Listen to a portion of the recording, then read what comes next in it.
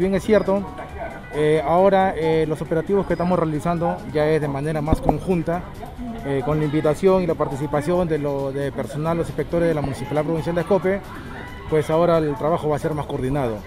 Ya los operativos que hemos venido realizando nosotros mismos, lo que es la Municipalidad de Chicama, pues lo hemos venido haciendo constantemente, pero a falta de aún todavía persistir con algunos vehículos de no registrarse en asociaciones, de no sacar tarjeta de circulación, de no hacer su trámite de licencia de conducir, cuando ustedes saben de la campaña que hemos hecho en el mes de mayo, o sea, prácticamente le hemos dado tanta la facilidad de bajar el precio a 10 soles, hacer la campaña de licencia, pedirles que por favor vayan a inscribirse en una asociación. Aún así, no haciéndolo, entonces ahora sí estamos saliendo con la Municipalidad Provincial de Escope en hacer estos tipos de operativos. ¿Van a ser coordinados continuos? Sí, van a ser coordinados. Hace poco también hemos hemos estado trabajando el día sábado y en la mañana con la Gerencia Regional de, de Transportes, los inspectores regionales, en la cual no solamente estamos abocados a lo que es mototaxi, sino también contando con el apoyo de la provincia y la Gerencia Regional de Transporte, también lo que es los vehículos M1, M2, M3, taxis, autocolectivos y buses, que sigan cumpliendo con sus normas de salubridad, eh, que tengan su documentación en regla, para que tanto los usuarios tengan la seguridad de viajar en esos vehículos. ¿no? Entonces ahora nos estamos expandiendo más y acá estamos con la presencia también de los inspectores de la Escope. ¿no? Estamos aquí en un operativo en conjunto para combatir la informalidad, ya que se viene haciendo diariamente, conforme dice acá mi compañero, que desde el día sábado estamos en conjunto con la, con la región, estamos haciendo el operativo para poder fiscalizar y ver que que todos anden con su documentación en regla y sobre todo para combatir la informalidad. Que se... Ahorita estamos apoyando con cuatro inspectores. Conductores que le están faltando, le falta la licencia, conductores que no tienen este, la foca vigente, que es, que es lo primordial, ¿no? Tener su seguro, su seguro de vida y no portan, manejan sin importar el, su licencia de conducir.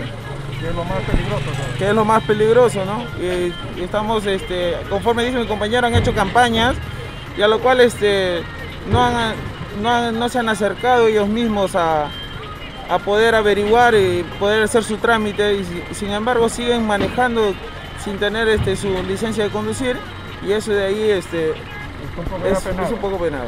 Casualmente en este operativo nos está acompañando un presidente, vamos a salir con todos los presidentes, si bien es verdad, eh, con el señor este, Eduardo Aguirre, con el señor William Ramírez, con el señor Ral, que son de acá prácticamente los tres presidentes de asociaciones, estamos saliendo con ellos.